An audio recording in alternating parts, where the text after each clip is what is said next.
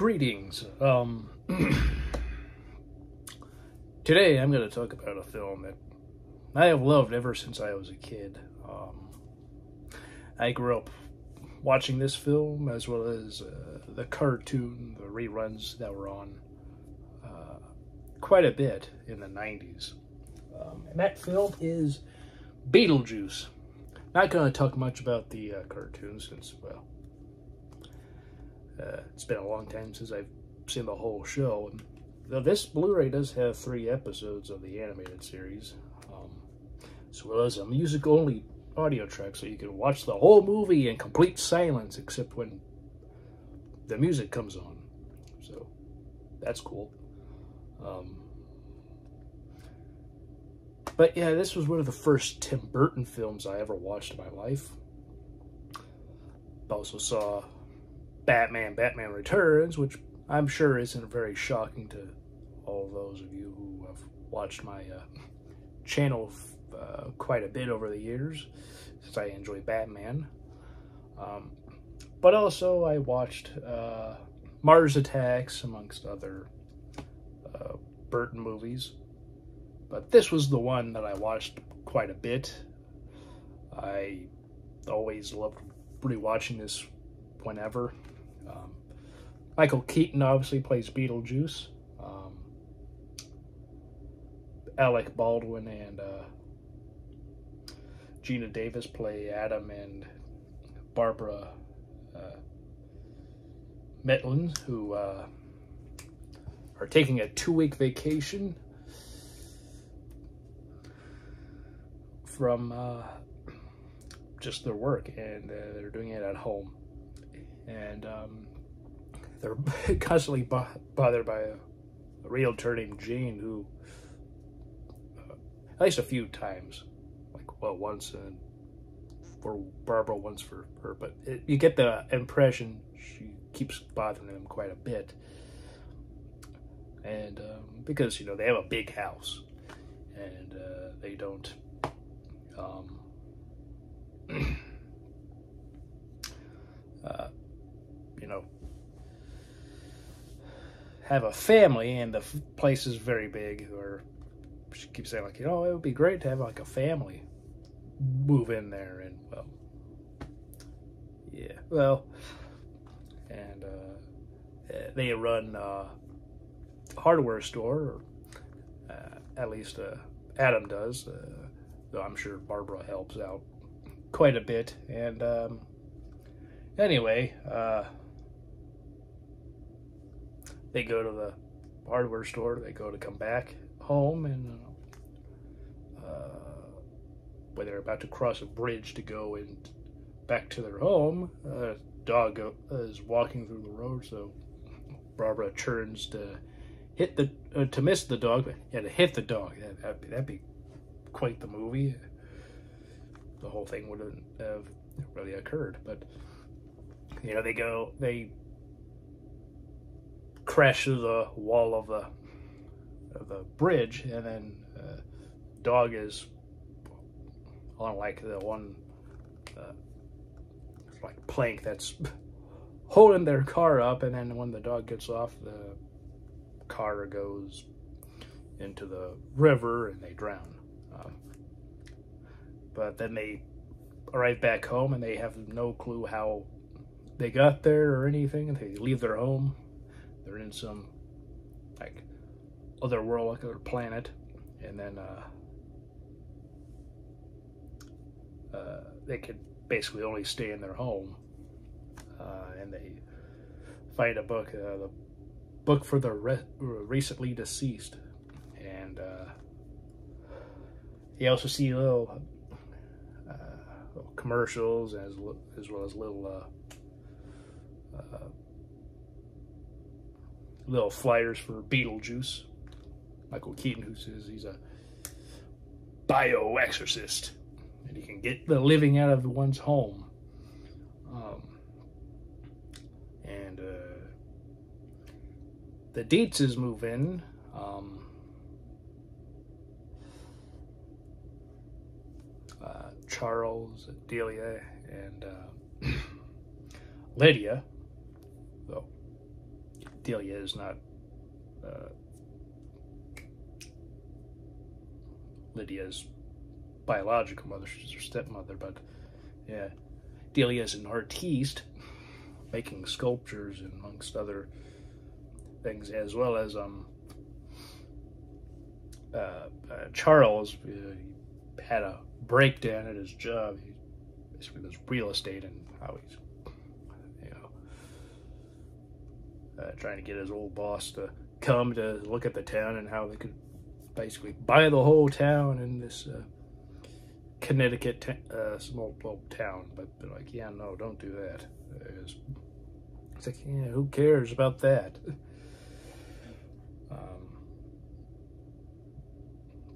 there's also Otho, one of the most hilarious uh, characters of the uh, of, of, of the film. Um, yeah, and um,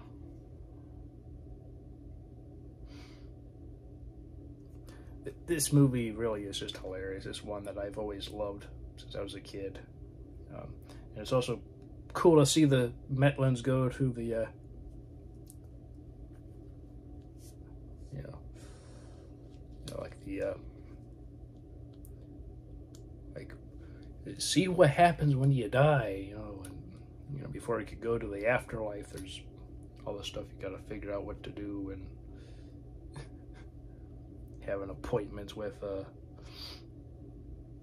a, a caseworker that they're assigned to. It's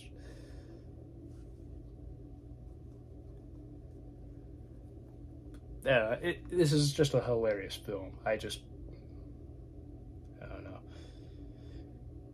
If I keep going, I'll just be explaining the whole plot, which, you know, if you've seen the movie, you've no doubt already watched. you know, if you've seen it, you know what the plot is. And if you haven't, well, I think that's enough. but, uh, so hopefully, uh, capture one's interest. Um, I have the DVD also. I saw there's a 4K version. That'd be interesting to see if there's anything else from it because uh, I got like the 25th anniversary, uh, or the 20th anniversary, uh, excuse me, of uh, DVD. Then some years later, got the same version on uh, Blu-ray.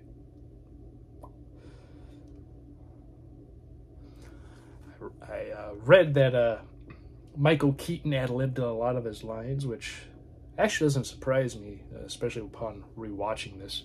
A lot of the stuff he says just seemed to be just out there. And um, this is apparently one of his favorite roles he's ever played. He does it very well.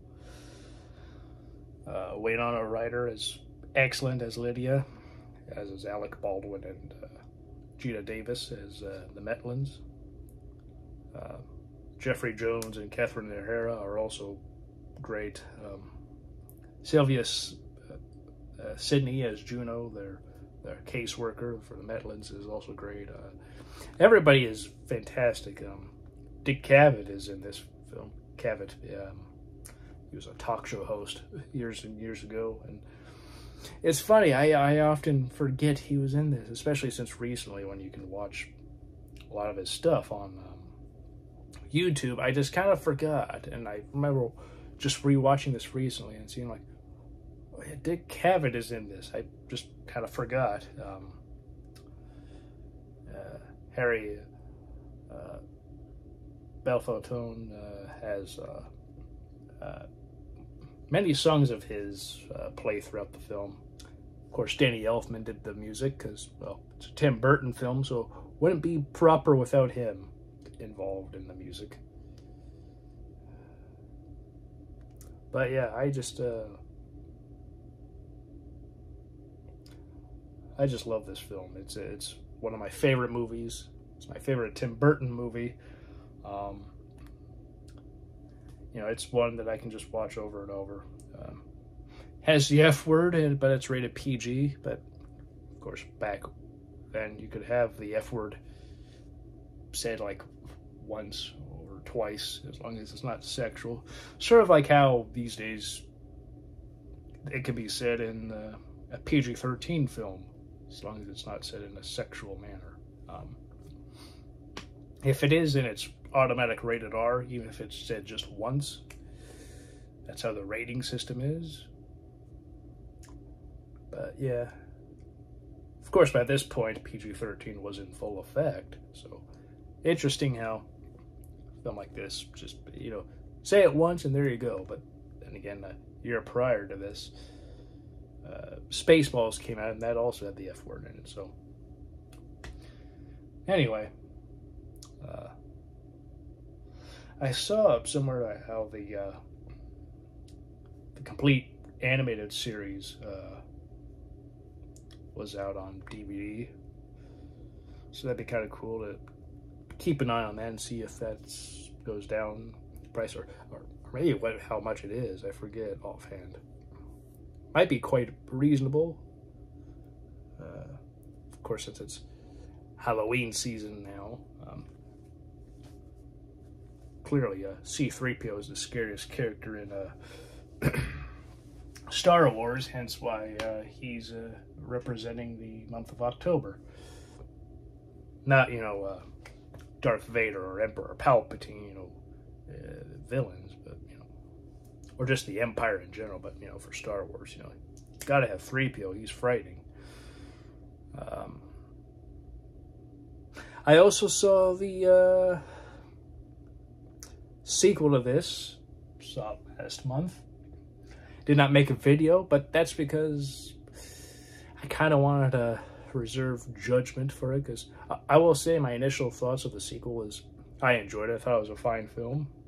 Great to see Michael Keaton, Catherine O'Hara, Winona Ryder again um, in these parts.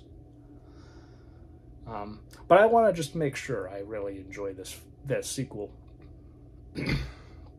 because you know sometimes when you say recency bias could have an effect, and that could be very true. Though giving one's first impressions of a movie, you know, obviously that can change over time. But I, I think for a sequel to a film that I love so much, it's kind of good to when it comes back on or comes out on Blu-ray and all that stuff. I'll get it and then rewatch it just to see how much do I really enjoy it? Do I really, really like it uh, as much as I currently do now? Or, you know, well, I still like it, but it's not as much. And it's like, just like it was like one of those uh, movies that, you know, it surprised me because it was good. Um, or, you know, fairly enjoyable. you know, something like that, you know sometimes these belated sequels aren't really a hit. They're mostly misses. Top Gun Maverick was good. This was good. Or the sequel to this was good, at least. But again, I want to see if uh, down the line when it comes out again and I rewatch it, just to see whether or not my opinion is still the same or if it changes uh, one way or another. I do think, though, that the uh, sentiment that the cast, you know, all the performances being good, I think that will still be intact, but man, who knows? there could be that one person in some in the background somewhere that just distra- is very distracting. You never know. Yeah. Anyway, I enjoy this film. I it is my favorite Tim Burton movie. Um, what do you think about Beetlejuice? Do you enjoy it? Do you uh, dislike it? Are you somewhere in between? Um, are you someone like me who it at many points throughout their life? Um, did you see it when it first came out? Um, what was that experience like? That would have been cool to see this in the theater. Um, if this ever comes and uh, uh, is is ever re-released uh, near me um, in the theater, I would definitely uh, go and uh, see it. Uh, yeah. Anyway, excellent movie.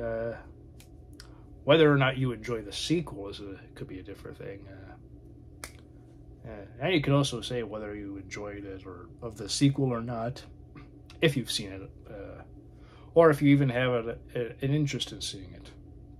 I could see some people maybe not so much because again, sequel to Beetlejuice, which you know, uh, in the '90s they wanted to have one, uh, Beetlejuice goes Hawaiian, and Kevin Smith was somebody who they were going to have uh, do some rewrites, but his reaction was, "Didn't we say all we needed with the first Beetlejuice?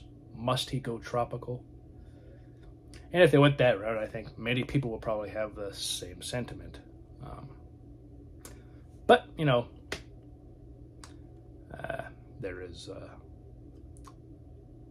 there is that my uh, my uh, overall thoughts. So, I hope you're all doing well. Hope you're all having a great day. Hope you're all having a great week. Uh, weekend. Hope your week was great, and I hope you'll have a great uh, week uh, next week. Yeah. So I'm going to be talking about quite a bit of horror films. Um, next time I'll probably speak about um, Dracula. Uh, Bram Stoker's Dracula, to be precise. Um, somebody for a while asked me to do that, and I said that'd be kind of a good movie to rewatch uh, this Halloween season. Also, especially since you know uh, Nosferatu is coming out, so and uh, I want to get the original version of that film on uh, Blu-ray. Also, I want to see this new version. It looks pretty good. Guy who made The Lighthouse and The Northman made uh, the new Nosferatu. Um, so yeah, uh, basically this month I'll probably talk quite a bit about uh, horror films or horror related in some way. Like Beetlejuice would be described as a horror comedy, for that matter. Uh, so it uh, Ghostbusters. Alrighty. Um, I hope all of you are again well. Um, please take care. I hope again everybody is well And uh, if you enjoy horror movies of any kind, um, be they psychological or whatnot, enjoy all the movies uh, of said uh, genre that you enjoy, if that is your thing. If not, that's completely fine. Just watch whatever movies you like to watch. So, yeah. Anyway. Uh, Take care.